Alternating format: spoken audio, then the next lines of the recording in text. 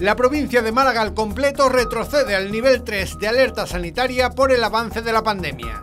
El Distrito Sanitario Guadalhorce nos encontraba en ese nivel desde el final de la tercera ola a principios de marzo. Este cambio supone más limitaciones a la hostelería, el ocio y la cultura.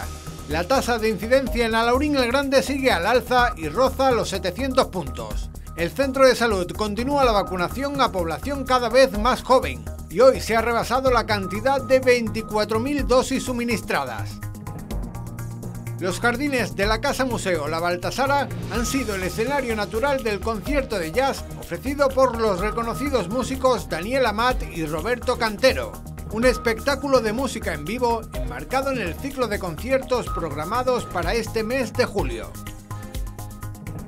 Ya está en marcha Alaurín Park en el recinto ferial, la de ayer fue la primera de 10 noches de atracciones hasta el próximo 1 de agosto. El ayuntamiento y los feriantes pusieron en marcha un protocolo de prevención de contagios que se aplica en todo el perímetro. Y el Alaurino ya ha vuelto a los entrenamientos y tendrá de momento 7 partidos amistosos esta pretemporada. El primero de ellos será un triangular el 7 de agosto ante el Casabermeja y el Antequera.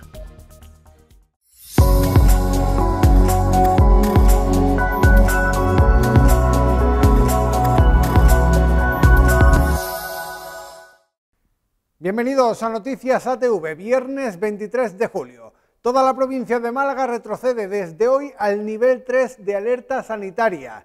Tras el análisis de la evolución de la pandemia, el Comité Territorial de la Junta determinó ayer este cambio que supone restricciones más exigentes.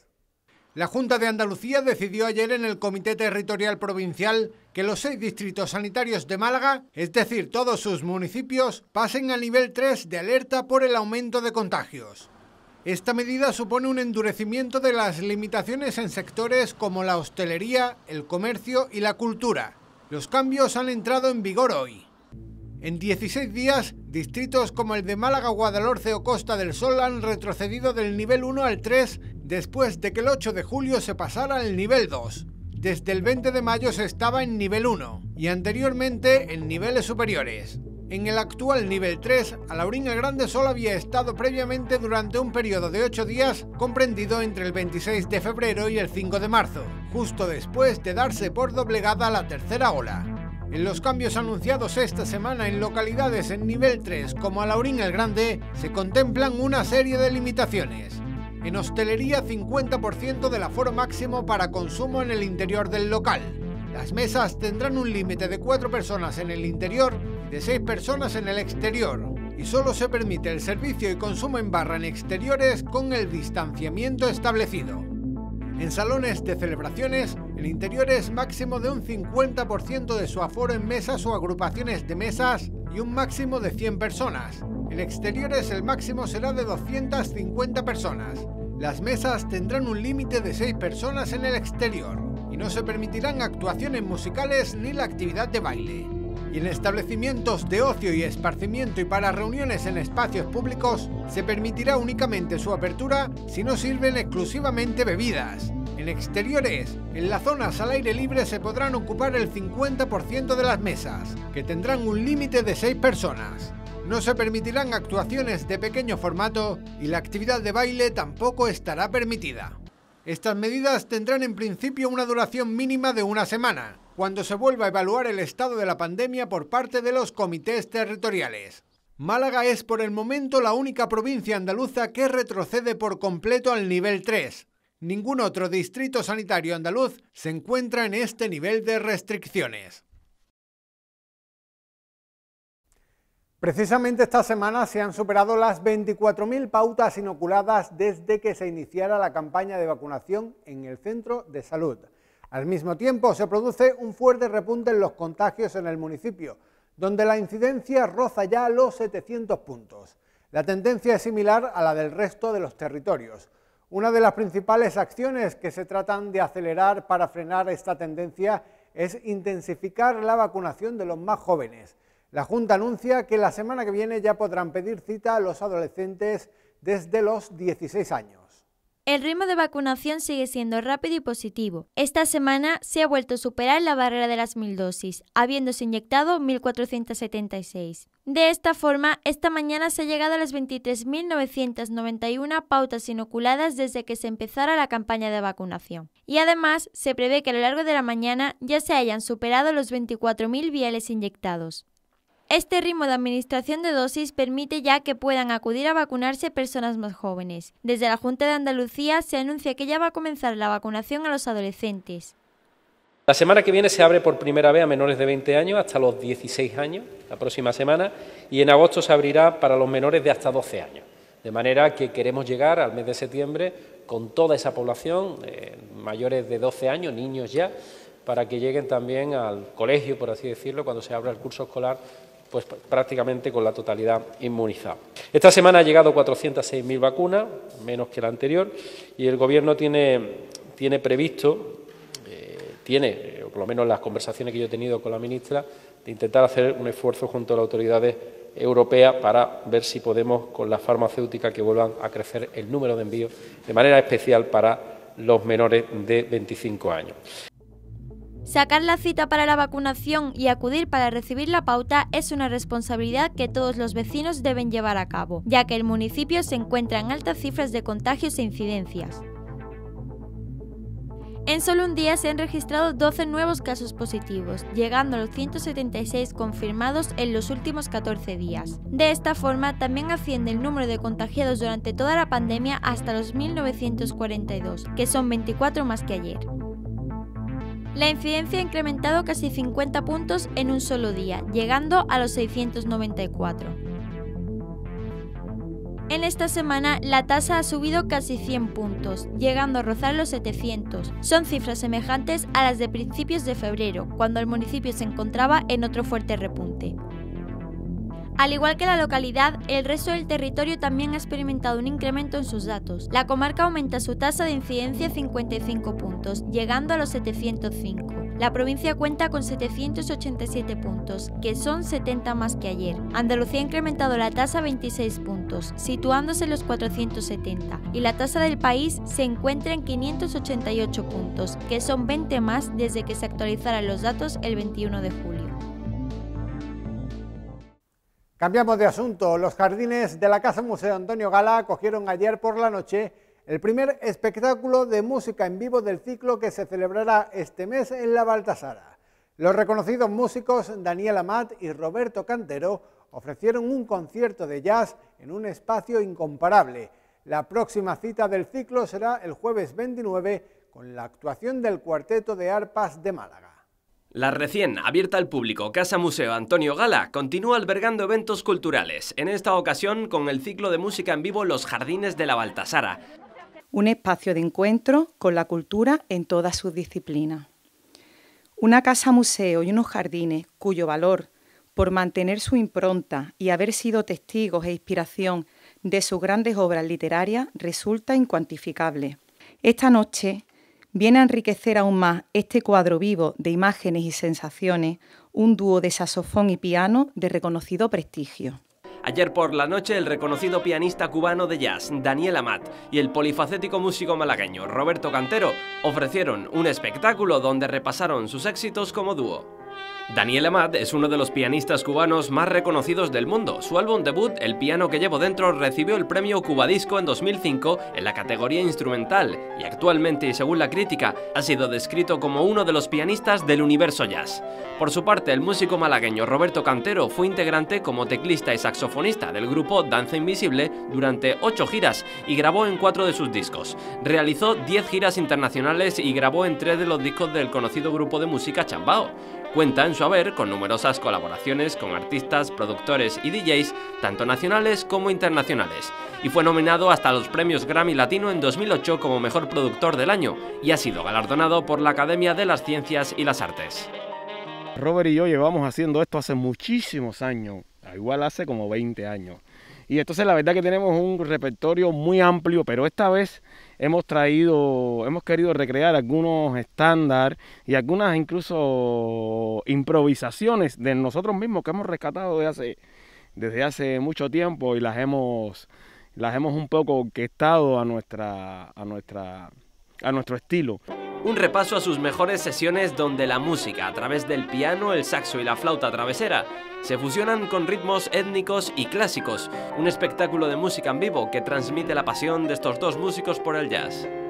La gente entiende el jazz como el jazz clásico del año 50, pero el jazz está incluso dentro desde la, de la música pop americana, desde el funk, hay muchos elementos de jazz. Hoy en día está todo muy, muy mezclado. O decir jazz realmente eh, es complicado, es como decir rock, es como definir rock, hay muchos estilos de rock. Entonces, yo creo que más que, la gente se acerca allá, yo creo que hay que culturizar a la gente a que escuche menos música eh, de usar y tirar, ¿no?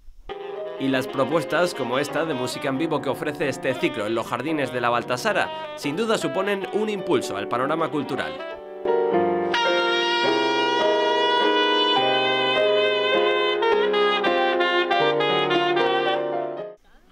Sí, por supuesto, y sobre todo este tipo de iniciativas, ¿no? Eh, yo pienso que el, el, sector de la cultura ha sufrido un golpe muy grande y bueno, todo este tipo de iniciativas, la verdad que ayuda muchísimo a la cultura y a los músicos. Un público que pudo entregarse a la música en una velada enmarcada en un entorno incomparable. Los propios músicos nos hablan de sus sensaciones. No, la verdad que es una cosa muy bonito porque es, bueno, es preciosa, pero el escenario como si, bueno, si pueden ver, está como en el medio de un bosquecito, la temperatura es ideal y yo, y yo pienso que se va a escuchar, que la acústica va a ser formidable esta noche, la verdad. Buah, a mí me es un, placer, un lujo y sobre todo acompañado de este entorno, ¿no? Que es que siendo malagueño, habiendo tocado en tantos sitios, jamás había tocado en esta, en esta zona, en un sitio como este. Entonces para mí es como doble disfrute, deleite de estar tocando y a la vez de estar observando ¿no? el entorno que, que te cautiva. Y el ciclo de música en vivo en los jardines de la Baltasara continúa. El próximo jueves 29 de julio, el Cuarteto de Arpas de Málaga ofrecerá un concierto a partir de las 9 de la noche para todos aquellos amantes a la música de cuerda. Para más información pueden solicitarla en la Biblioteca Municipal. Ayer dio inicio la actividad a Laurín Park. El recinto ferial se ha convertido en un auténtico parque de atracciones en el que todos los vecinos pueden disfrutar de los diferentes cacharros, puestos de comida y de ocio. Todo ello siguiendo un importante protocolo higiénico-sanitario para el que se requiere la colaboración de todos. Se desarrolla en un entorno amplio, al aire libre, con controles de seguridad, compuestos de gel hidroalcohólico, desinfección de atracciones, protocolos de entrada y salida, características que presentan a Laurin Park como una alternativa de ocio que cuenta con todas las medidas de seguridad requeridas para ser un lugar seguro donde divertirse. Ahora está en manos de todos respetarlas, hacer un uso responsable de ellas, mantener las distancias y usar correctamente la mascarilla. Todo esto hará posible que esta divertida actividad sea todo un éxito. Ayer dio inicio en el recinto ferial a Laurin Park 10 días de diversión y actividades para todos los vecinos con numerosas atracciones y puestos de comida y de juegos. Desde el equipo de gobierno hemos hecho un gran esfuerzo para conseguir que este parque de atracciones esté disponible tantos días y así permitir que los visitantes puedan acudir de forma escalonada y evitar las aglomeraciones y poder apoyar a un sector que ha sufrido tanto esta pandemia como es el sector de los feriantes. A la Orin Park cuentan con atracciones, zonas de restauración, días del niño y noches sin ruido, creando así una amplia oferta de ocio para todas las edades sin excepción. Desde las siete y media y hasta la una de la madrugada podrán visitar el parque durante estos días. Ayer ya lo hicieron muchos vecinos destacando la diversión entre los más pequeños. En la rana,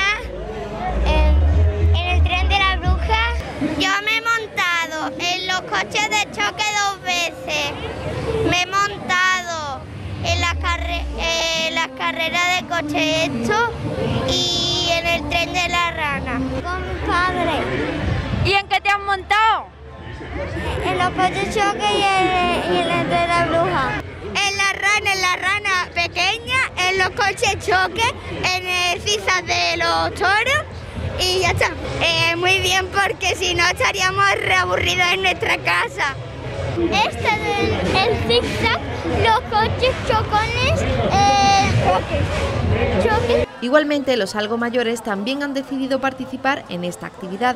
Pues muy bien, porque ya hacía mucho tiempo que no teníamos nada. En la olla, en el de aquí, en el barco vikingo, en el, en el eso. Y ahora vamos a montarnos más cosas. Nosotros acabamos de salir de aquí y han desinfectado con un spray con arco, así que yo lo veo muy bien.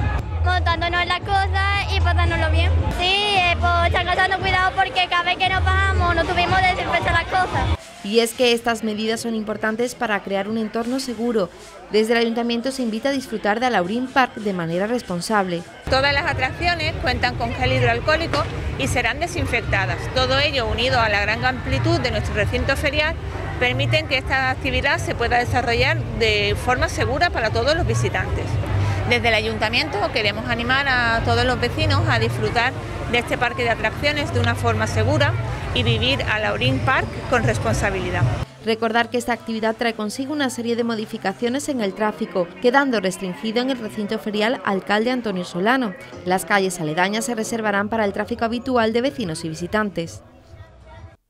Les informamos ahora de varios cortes en el suministro eléctrico previstos para el próximo lunes en algunas zonas del municipio.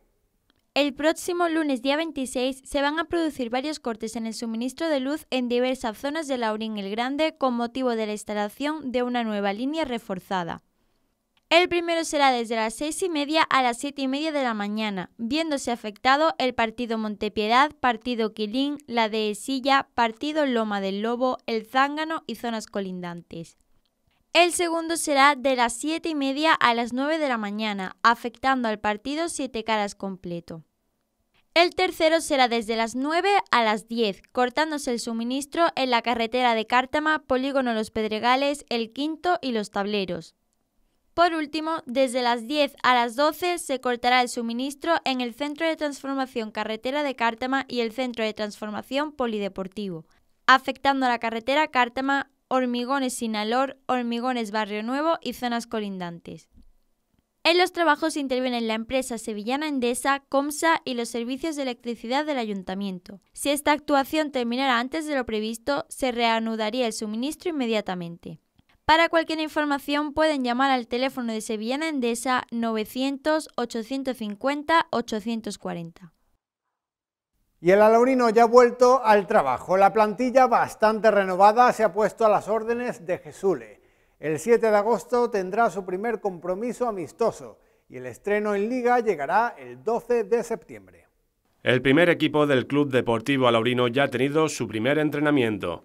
Una jornada de preparación marcada por las presentaciones, ya que el cuerpo técnico es nuevo y solo siguen en la plantilla con seguridad tres jugadores, Zalea, Lupi y Víctor Rueda. Josemi sigue siendo duda. Coger tono físico y asimilar la idea de juego del técnico Jesule son los objetivos principales en estas primeras sesiones de preparación antes de jugar su primer amistoso. Será el 7 de agosto con un triangular fuera de casa. El conjunto azulillo se medirá al Antequera y al Casa Bermeja, localidad donde se jugará. En casa vamos a tener dos partidos. Una fecha importante a tomar nota es el día 11 de agosto porque vamos a, disputar el torneo de la patrona y vamos a recibir nada más y nada menos que al Atlético malagueño aquí en casa. ¿no? Y después ya al final de la pretemporada pues también tenemos un segundo compromiso en casa, también bastante fuerte, donde recibiremos al palo. El resto de los rivales del Alaurino en pretemporada serán el Cártama, el Atlético Estación, el San Pedro y en otro triangular el Fuengirola Los Boliches y el Málaga City partidos de preparación necesarios para llegar con garantías al inicio de liga el 12 de septiembre, esta vez en un todos contra todos y no divididos en grupos como en la última temporada. El año pasado, como tú bien sabes, tuvimos digamos la mala fortuna de caer en un grupo fortísimo con todos los equipos de Málaga y entonces bueno, al final ya se sabe cómo, cómo quedó la cosa, conseguimos salvarnos pero, pero padecimos mucho. Esperemos que esta liga regular, digamos, eh, habitual, formato todos contra todos, en ese aspecto yo creo que podemos ofrecer nuestra mejor versión. En cualquier caso, el grupo de la Laurino en la tercera de la federación contará con auténticos equipazos. No, desde luego, sin ninguna duda, el grupo va a ser competitivo a muerte, es decir, no tenemos miedo, eso hay que decirlo, pero sí tenemos respeto ante nuestros rivales. Hay proyectos muy fuertes, un malagueño que siempre tiene vocación de subir, Torremolino que se está reforzando muchísimo, tú lo has comentado el tema del Motril, del Marbella, que vamos a decir? Un equipo que está hecho, digamos, para jugar incluso en categoría de plata y lo vamos a recibir aquí en el Miguel Fijones. Un Real Jaén, que siempre hay que contar con él, porque por la masa social que tiene, por el volumen, el alaurino de la temporada 2021-2022 ya está en funcionamiento. Vamos ahora con la previsión del tiempo para mañana.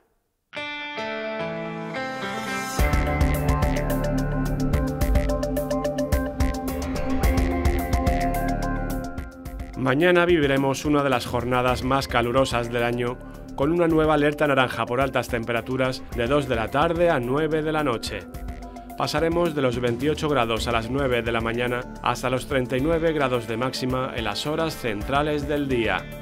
El sofoco continuará por la noche. Sobre las 9 seguirá habiendo unos 35 grados. Es una información de la Agencia Estatal de Meteorología.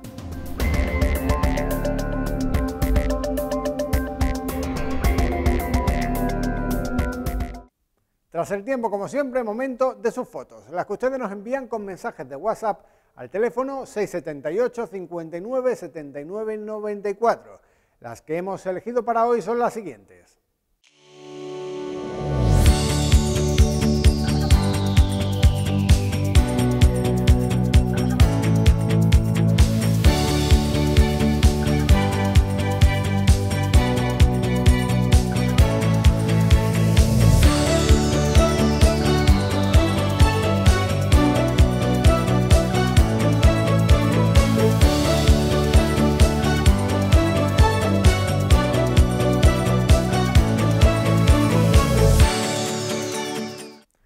Pasamos ahora a los principales asuntos que nos ha dejado la actualidad de este viernes.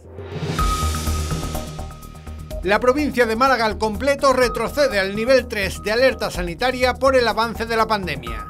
El Distrito Sanitario Guadalhorce nos encontraba en ese nivel desde el final de la tercera ola a principios de marzo. Este cambio supone más limitaciones a la hostelería, el ocio y la cultura. La tasa de incidencia en Alaurín el Grande sigue al alza y roza los 700 puntos. El centro de salud continúa la vacunación a población cada vez más joven y hoy se ha rebasado la cantidad de 24.000 dosis suministradas. Los jardines de la Casa Museo La Baltasara han sido el escenario natural del concierto de jazz ofrecido por los reconocidos músicos Daniel Amat y Roberto Cantero. Un espectáculo de música en vivo enmarcado en el ciclo de conciertos programados para este mes de julio ya está en marcha a Laurín Park, en el recinto ferial. La de ayer fue la primera de 10 noches de atracciones hasta el próximo 1 de agosto. El ayuntamiento y los feriantes pusieron en marcha un protocolo de prevención de contagios que se aplica en todo el perímetro. Y el Alaurino ya ha vuelto a los entrenamientos y tendrá de momento siete partidos amistosos esta pretemporada. El primero de ellos será un triangular el 7 de agosto ante el Casabermeja y el Antequera. Estas y más noticias en la web, las redes sociales y la aplicación móvil. También tendrán más información en los servicios informativos del fin de semana, tanto sábado como domingo y el lunes, en una nueva entrega de Noticias ATV a la misma hora. Ahora se quedan con imágenes del estreno de Alaurín Park. Feliz fin de semana.